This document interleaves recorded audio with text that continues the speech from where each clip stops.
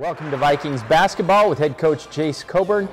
The Vikings are coming home this week for the first time in 33 days. It's an exciting time for Vikings basketball as Big Sky Conference play is now underway.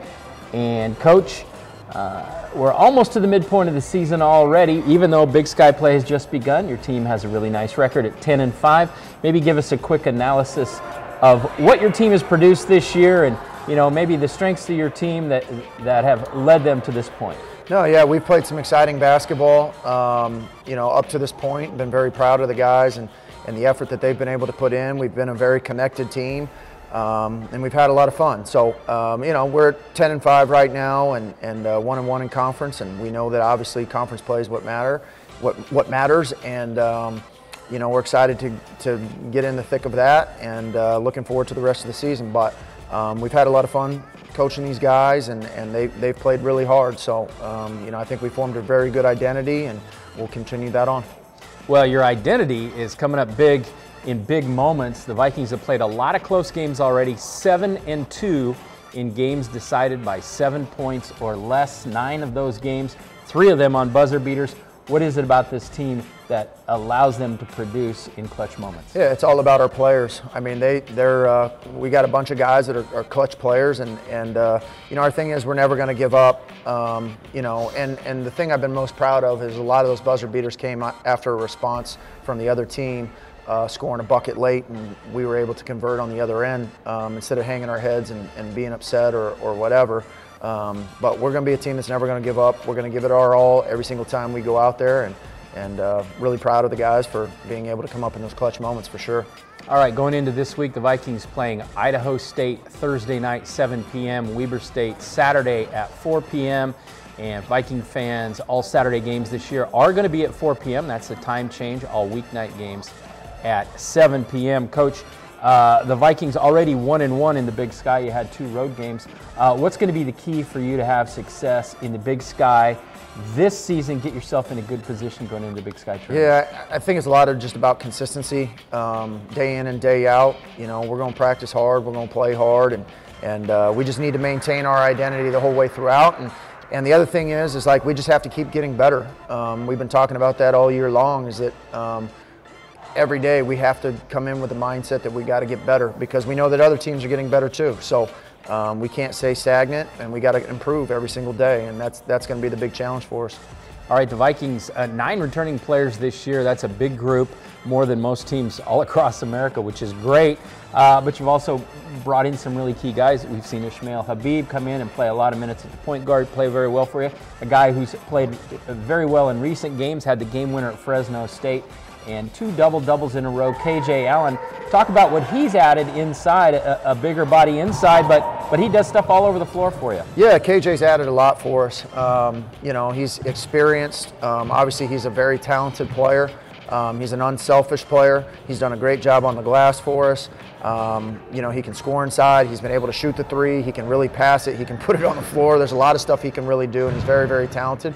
Uh, but probably the best thing about him is he's really fun to coach and he's a great person. So, um, you know, that's he's he's added that to our team and fit right in. Like you said, we got nine returning guys, um, and he's been able to come in and fit right in with the rest of the guys. All right, and as we look at the Vikings play in recent weeks, they were on the road for five straight games. That's awfully tough. We talked about away from this arena for a month. You got to be excited uh, to come home uh, in the last five games, the Vikings have gone two and three. The one element we've noticed, you talked about consistency. Your shooting has been a little inconsistent in those last five games. Do you figure coming home, familiar rims, does that make a big difference in that element of the yeah, game? Yeah, I mean, we, we enjoy being on the road. I mean, I think 33 days away from home court's a little much, but uh, we enjoy being on the road. We're excited to get back home in front of our fans, and, and uh, we know the things that need to stay consistent for us uh, to give us a chance to win every night, and that's what it's about, is that you just want a chance to win every single night, and those things need to continue on every single game, and, and the shooting will come and go, um, you know, but when it all clicks on one night, we'll be, we'll be really good. But, um, you know, up until that point, like we just have to continue on with the things that we have been doing um, and, and chase the consistency with that. Uh, you, talk about the shooting coming and going, but one thing you said to me earlier this year uh, is that you have to win in the margins, loose balls, the offensive rebounds, the hustle plays. uh, playing good defense. That's really what your team's built on, isn't it? Yeah, for sure. I mean, we, you know, we pride ourselves on being the first to the floor and multiple people on the floor every time there's a loose ball. I mean, that's that's how we can kind of measure if we're really there that night or not. Um, you know, we pride ourselves of being a great team on the glass and, and playing defense and, and running the floor and, and doing all the little things. Um, because if you do all the little things, it gives you a chance to win every single night. And uh, no matter if you're on the road or if you're at home or wherever you're at, um, you know, it gives you a chance to win every single night if you can win in the margins. And then, you know, if you shoot the ball well that night, then you got a really good chance to win. So um, those things just need to stay consistent for us and, and who we are as a team and, and uh, play with passion and spirit and heart and, and uh, give it everything we got every single night. All right, let's take a look at this week's games really quickly. Thursday, Idaho State. Saturday, Weber State. Uh, those two teams have a common theme. They have a big guy who's really, really talented. Idaho State, Braden Parker, he's a post, a big man who's very effective inside, but he's added uh, the element. He's stepped out. He's shooting 40% from three point range. Talk about the challenge of defending a guy like that. He's their leading scorer and uh, leads the Big Sky in shooting as well. Yeah, Brayton's a really talented player. Um, you know, from my interactions with him over the last couple years, he seems to be a, a great person too. Um, so, you know, I'm happy for him that he's having a great year. We know he's a great player. Um, you know, and there's going to be things that we're going to need to do to try and stop him. You know, so, uh, but all the credit to him for having a great year so far. Hopefully he doesn't have that great of a night on Thursday night, but, um, you know, it's a challenge for us and, and uh, we need to be able to step up and meet the challenge. Um, you know, and Idaho State's a very talented team. Coach Looney does a great job and they're always going to be disciplined and, and uh, you know, play their style and it, it should be a fun night. And the Bengals, uh, they come in, they have eight returning players. I took a look at that roster, so they have some continuity on their team as well. The good news uh, for the Vikings, they swept the season series with them last year. You've won six in a row against Idaho State, so you've got a good trend going there. Uh, as we look ahead now to Weber State, let's talk about uh, Dylan Jones. He's a guy that's player of the year kind of a guy. He's leading the Big Sky in scoring, rebounding, and assists that's a pretty good triple threat. Yeah, same type of deal. Obviously, we know he's had a great career, um, you know, at Weber State and has a lot of experience and is a very talented player. And like you just said, he can do a lot of different things. Um, but our guys need to be ready to step up for that challenge. Um, you know, when you get a great player coming in here and and he's got great teammates too that, that all play their part and they've been playing really well. So, um, you know, for our team, it's we're going to have to step up and meet the challenge.